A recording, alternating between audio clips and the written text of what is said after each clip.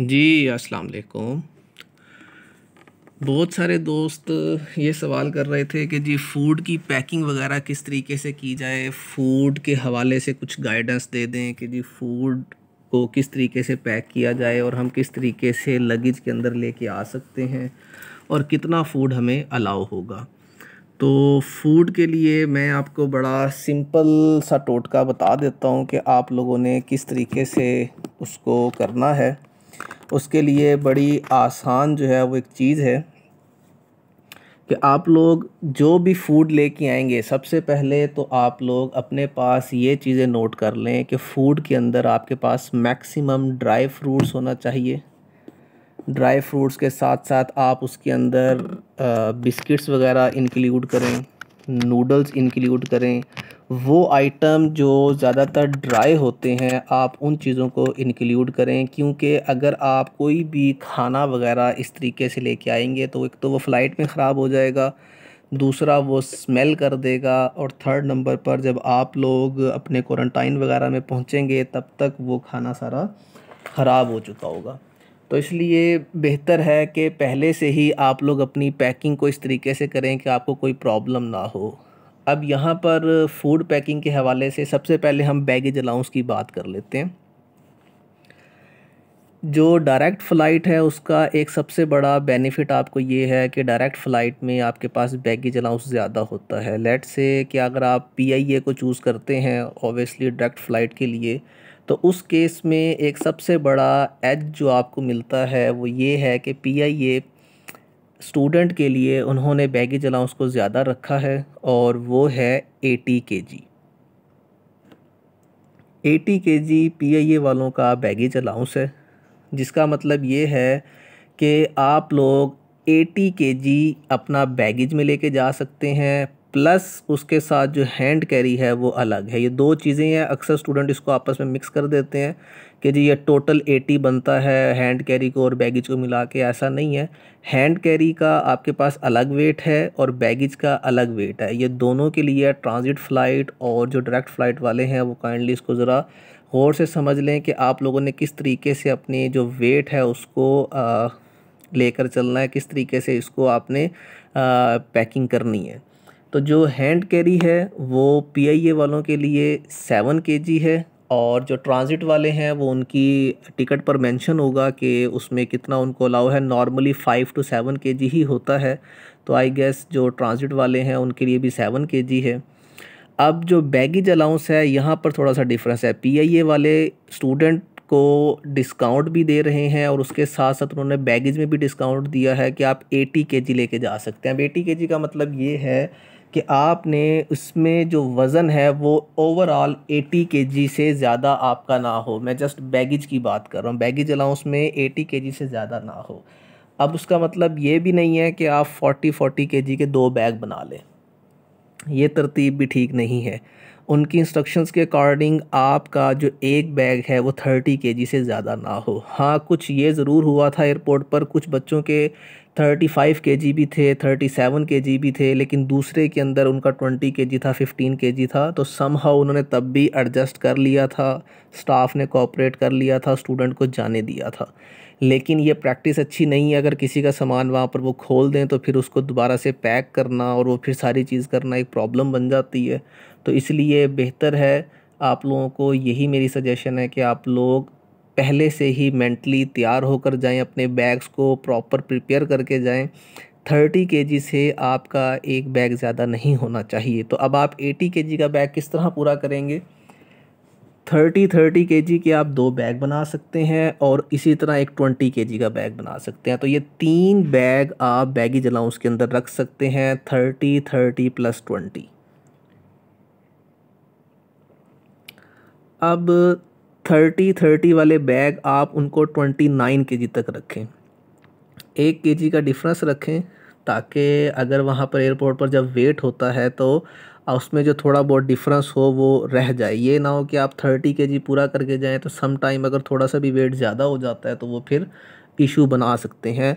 लिहाजा बेहतर है कि आप दो bag twenty nine twenty nine K G के बना लें और एक बैग एटीन के जी या नाइनटीन के जी का बना लें। तो इस तरीके से आप अपना ये एटी के जी बैगेज पूरा कर सकते हैं। इसके अलावा जो आपका हैंड कैरी है हैंड कैरी में आपके पास अगेन सेवन के जी स्पेस होगी। तो उसमें आप अपने लैपटॉप और ये डॉक्यूमेंट्स जो नेसेसरी डॉक्यूमेंट्स हैं वो उसमें ज़रूर रखें और ये काइंडली अपने बैगेज के अंदर ना रखिएगा डॉक्यूमेंट क्योंकि एयरपोर्ट पर ज़रूरत होती है। स्टूडेंट क्या करते हैं कि वो अपने डॉक्यूमेंट्स वगैरह, अपने बैगेज में जो मेन बैग है, बड़ा बैग वो उसके अंदर रख देते हैं। तो जब एयरपोर्ट पे उनसे डॉक्यूमेंट मांगे जाते हैं तो वो फिर या तो अपना पूरा बैग खोल रहे होते हैं या सम टाइम इश्यूज़ हो रहे होते हैं, क्योंकि जब जहाँ जहाँ आपने एयरपोर्ट पर उतरना है, वहाँ वहाँ आपके डॉक्यूमेंट्स को बार बार री वेरीफाई और री चेक किया जाएगा। तो इसलिए बेटर है कि आप जो डॉक्यूमेंट्स वाला मामला है, उसको सारा आप हैंड कैरी के अंदर रखें। अच्छा हैंड कैरी में सिर्फ़ आप लोग यही नहीं है कि डॉक्यूमेंट्स और लैपटॉप ही रख सकते हैं। कुछ स्टूडेंट ये भी कह रहे थे कि जी सिर्फ़ डॉक्यूमेंट और यही अलाउ है, इसके अलावा कुछ नहीं कर सकते, ऐसी कोई बात नहीं है। हैंड कैरी में भी आप अपने कपड़े वगैरह रख सकते हैं, उसके अलावा आप उसके अंदर भी खाने पीने का सामान रख सकते हैं। इसमें कोई ऐसी कबाहत नहीं है, कोई ऐसा इशू नहीं है। आप उसके अंदर ये सारा सामान भी उसके अंदर रख के ला सकते हैं। सो इस तरह ये बात समझ आती है कि 80 के जी आपके पास baggage allowance plus seven K G आपके पास हैंड कैरी तो टोटल 87 के जी हो गया है। सो सेवन के जी हैंड कैरी को तो अलग ही निकाल दें 80 के जी आपका बैगेज अलाउंस है जो उन्होंने चेक करना है वो चेक करके उसके बाद आपको आ, वो स्टिकर से दे देते हैं आपके बैग के लिए ताकि आप जब वहाँ पर लैंड करें दूसरे एयरपोर्ट पर तो वहाँ पे जाके आप अपने सामान को पिक कर सकें।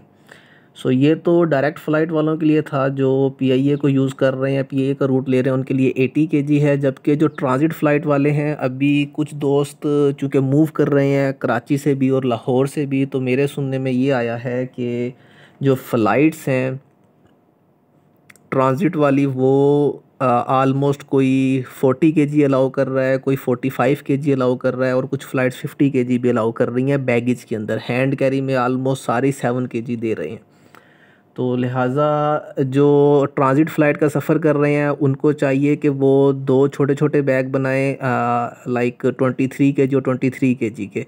इस तरह ना करें कि एक थर्टी के जी का बना लें और दूसरा जो ट्वेंटी का बना लें तो बेस्ट है कि बैलेंस चीज़ें रखें और जो उनकी रिक्वायरमेंट है, उससे एक दो के जी अपना सामान कम रखें। तो इसका सबसे बड़ा बेनिफिट ये होगा कि आप लोग इजीली अपना सामान भी कैरी कर पाएँगे और वेट करने में भी प्रॉब्लम नहीं होगी और आपका जितना सामान है वो भी सेफली आ जाएगा। फ़ूड की पैकिंग किस तरीके से करनी है उसकी अंदर आपने कैसे कैसे मेडिसन्स ले के आनी है इस पर मैंने कंप्लीट सीरीज़ भी बनाई है। आ, वो आपको यहीं पर मिल जाएगी। शॉर्ट्स कुछ वीडियो शॉर्ट्स मैंने बना दी हैं उसमें तीन से चार वीडियोस आ, इस डिस्क्रिप्शन के अंदर भी मैं लिंक डाल दूँगा और वैसे इस चैनल के ऊपर भी मौजूद है आप लोग उसको देख सकते हैं कि मैंने किस तरीके से पैकिंग की है।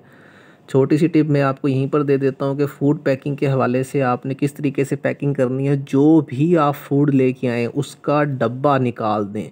लेट से कि चले मेडिसिन की बात करते हैं कि आपने मेडिसिन को किस तरह पैक करना है तो मेडिसिन के अंदर जो नॉर्मल रूटीन की मेडिसिन होती हैं लाइक पायोडीन क्रीम है ठीक है, जिसको हम जेल भी बोलते हैं, वो क्रीम लें, लिक्विड कोई चीज़ ना लीजिएगा। काइंडली मेडिसन में लिक्विड कोई चीज़ नहीं लेनी लाइक सिरप हो गए हैं, कोई इस तरह की चीज़ें हो गई हैं तो लिक्विड से आपने अवॉइड करना है। कोशिश करें, जो जेल्स हैं लाइक पायोडीन है, मूव क्रीम है पी कैम जेल है, इसी तरीके से वोल्ट्रा जल है, जो डेली हम नॉर्मली यूज़ करते हैं और नॉर्मल यूज़ की होती हैं तो ये सारी ट्यूब्स वगैरह आप ले सकते हैं।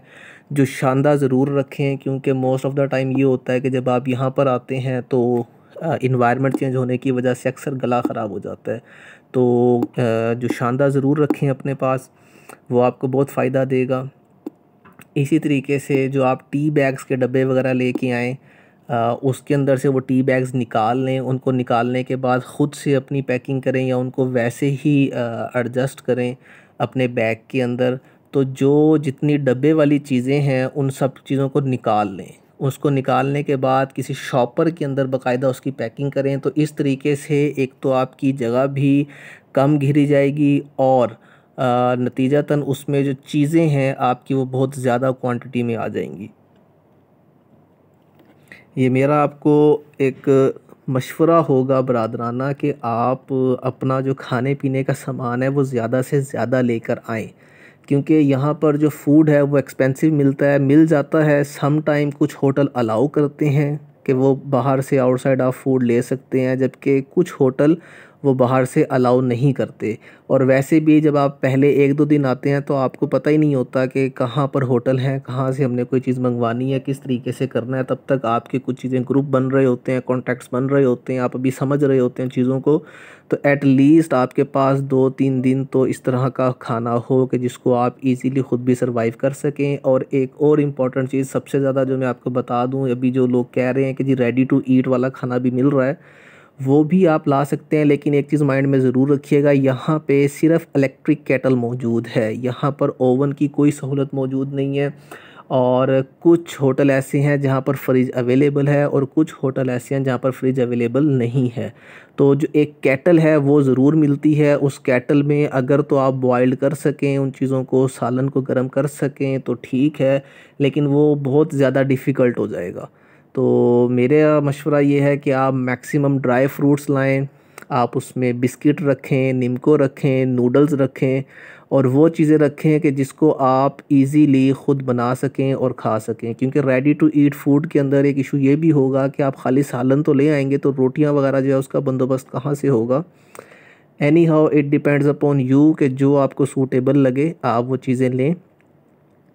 टेस्ट के लिए आप रेडी टू ईट वाली चीज़ें भी रख लें, कोई ऐसा इशू नहीं है। लेकिन मैक्सिमम ट्राई करें कि आप अपने साथ बिस्किट निमको ड्राई फ्रूट्स ये ज़रूर लेके आएँ और ज़्यादा से ज़्यादा बिस्किट ज़रूर लेके आएँ, क्योंकि चाय वगैरह के साथ आप बिस्किट के साथ आराम से सरवाइव कर सकते हैं जब तक कि आपको बाहर से खाना अलाउ नहीं होता या आपके यहाँ पे डिलीवरी नहीं होती। आई होप सो कि आप लोगों को ये इन्फॉर्मेशन अच्छी लगेगी। इसको बाकी स्टूडेंट्स के साथ भी शेयर करें ताकि तमाम लोग इधर आने से पहले उनको ये चीज़ें कुछ क्लियर हों, उनके माइंड में हो, ताकि स्टूडेंट पैनिक ना हो। जिस टाइम स्टूडेंट यहाँ पर इंटर होता है क्वारंटाइन के अंदर आ जाता है तो फिर एकदम से जो अनेक्सिटी है और पैनिक सिचुएशन है, वो माहौल बन जाता है क्योंकि एकदम से आपको कमरे के अंदर बंद कर दिया जाता है और आपको स्ट्रिक्ट इंस्ट्रक्शन दी जाती हैं कि जी आपने यहाँ से बाहर भी नहीं निकलना। तो वैसे भी एक ट्रैवल किया होता है इतना लंबा और उसके बाद एकदम से रेस्ट्रिक्शंस हों, भूख भी ज़्यादा लग रही होती है। सम टाइम वो पानी की बॉटल्स भी अवेलेबल नहीं होती तो वो स्टाफ को कह के मंगवानी पड़ती हैं। तो ये कुछ चीज़ें हैं जो सिचुएशन टू सिचुएशन डिपेंड्स करता है कि कौन किस क्वारंटाइन में और किस होटल के अंदर जा रहा है। तो हर किसी का एक्सपीरियंस एक अलग ही हो रहा है, लेकिन फिर भी कुछ चीज़ें ऐसी कॉमन हैं कि अगर आप लोगों के पास वो नॉलेज होगा, वो इन्फॉर्मेशन होगा, वो चीज़ आप तक बात पहुँची होगी तो मेंटली आप लोग उस चीज़ के लिए तैयार होंगे। तो आई होप सो कि आपको ये वाली इन्फॉर्मेशन अच्छी लगी होगी, इसको अपने फ्रेंड्स के साथ रिलेटिव्स के साथ और जो दोस्त अब आप यहाँ पर अभी सफ़र कर रहे हैं या करने वाले हैं या आने वाले दिनों में उनका प्लान है करने के लिए तो उनके साथ ये वीडियो ज़रूर शेयर करें। जजाकल्ला खैर।